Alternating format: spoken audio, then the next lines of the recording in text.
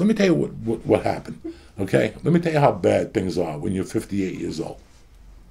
So I gotta, I can't, you know, when, when I got home from the hospital, they told me I couldn't fucking, I couldn't take a shower because of the stitches. That's great. Uh, you know, that lasted fucking a day and a half, okay?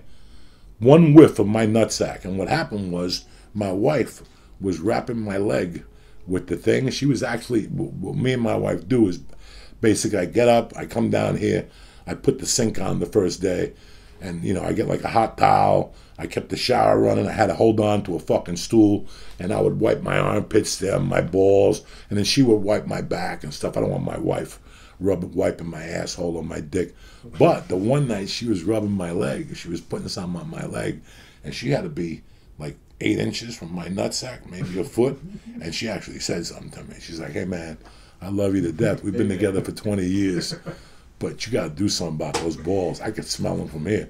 I go, done.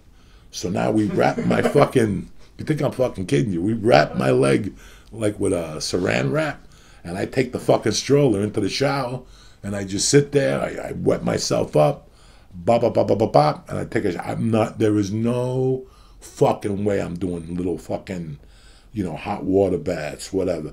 And, you know, like I got home on Saturday, and I took like a good hot water bath after the hospital.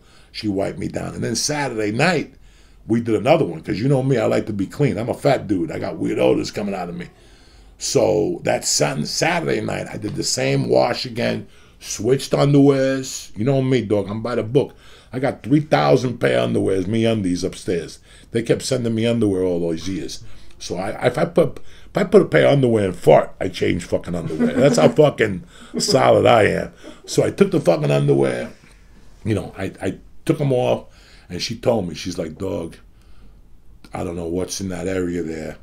And I stopped taking these pills. See, I was taking this this GNC testosterone package, healthy men's testosterone. Oh, oh. Let me explain something to you. The smell of your piss when I take Alpha Brain and Shroom Tech and Shroom Tech uh, Sport and shit, nothing stinks like that.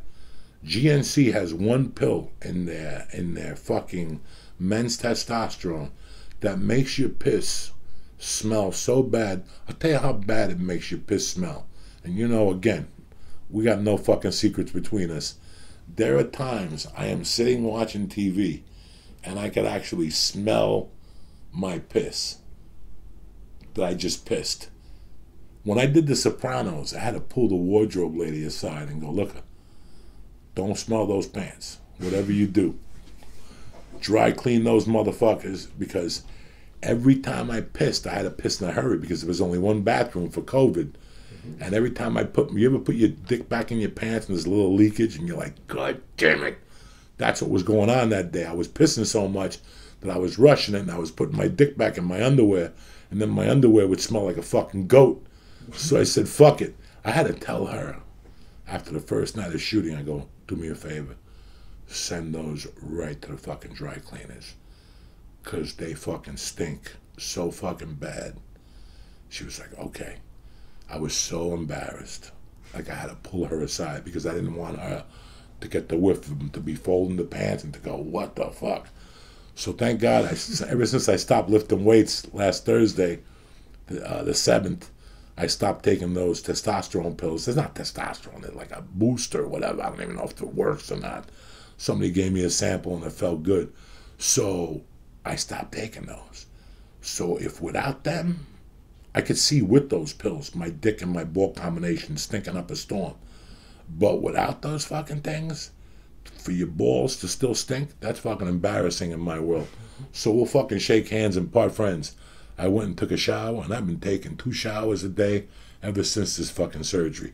I just wrap my leg up with fucking saran wrap, brother, and boom, I go in there. So if my wife is telling me to my face that my balls stink, how do you think I feel in my head? Like I, in my head, I've known for eight years since I've had mercy, and since I was like 49. I'm like, I can't show this dick to nobody no more. This is the ugliest thing in the world. The morning of my surgery, when they put the intravenous in me, I was so fucking scared that day.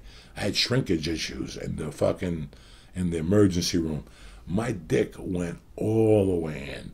When I tell you that my dick shrunk to an inch for four days after the surgery, I'm not fucking lying to you. I don't know what the fuck it is about surgery, but my dick helmet went all the way in. I still remember before the surgery, I had a piss. I told you motherfuckers, the dude, I go, I got a piss. He goes, I don't worry about it. We'll put a tube in your dick if you have to piss during the surgery, and then we'll pull it out. I go, no, you will not do that shit. No, you will not. I will piss right here. They had to bring that, the catheter, whatever the fuck that thing is. And I remember a girl holding it. She's like, I got it. I couldn't even grab my dick to piss in there. Piss was just sprinkling everywhere like a like a fucking Brooklyn fucking sprinkler head. It just kept fucking going around and around in circles. So I was like, Jesus fucking Christ, this is the most embarrassing thing. They even told me at the hospital like Friday night, I think it's time to change your robe because I had to piss in the bed. So I kept pissing the thing and little bits of piss would go out. I think that room smelled like fucking death. So these are all the reasons why I wouldn't even consider. Like we fuck around. I'll show you my balls on the internet if you like. I've showed you my balls before.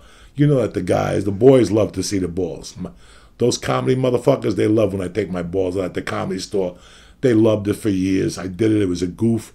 But to show them to a fucking girl at my age, ever since I was 50, that's been the last thought on my mind, guys. And listen, everybody loves a good blowjob or a good piece of ass. For me, it's been a complete different opposite of that because what do I tell my little daughter? What do I tell my daughter? That I, can't be a father no more because I cheated on her? I'm going to lose all this because of my fucking daughter? So it's never even been on my fucking curriculum. It's never been on my fucking curriculum. You know, look at the friends I have, the women that are in my life. They're fucking beautiful. Kate Quigley, you wouldn't try something with Kate Quigley? Really? Oh, you're that much of a Christian? I've never tried nothing with Kate Christian. One time fucking around when I told me this to show me those skinny fucking tits or whatever. But no, she's my fucking best friend, my sister. Felicia Michaels, beautiful piece of ass, was in Playboy. Ask her. Ask her if I ever come on to Felicia Michael. There's no need to. She would look at me and go, and Joey, I would never. I mean, Felicia says the funniest fucking things you've ever heard in your life when I'm alone with her. We I took her to this comedy show one night, and we bumped into a well-known musician that will will leave unknown. I mean, he's one of the biggest musicians of all time. He was at a fucking comedy show, and we're walking out, me and her, and a friend of mine says, "Hey, have you ever met this guy?" And I go, "No," and I'm like, "Hey, man, very nice to meet you." I'll just give you a hint. He's got a radio show. I shake his hand. I go, "Very nice to meet you. You know, it's a pleasure. I love your band. Uh, this is my friend Felicia Michaels because Felicia came with me." Felicia shook his hand. We turned away. What? Right? Most people would go, "I can't believe that's fucking blah blah blah." You know what Felicia said to me? She goes, "I think he needs some hair conditioner. His hair is a bit on the dry side." I go. Is that what the fuck you just noticed when you meet one of the biggest musicians in the fucking world? That his hair needs conditioning, that he's dry?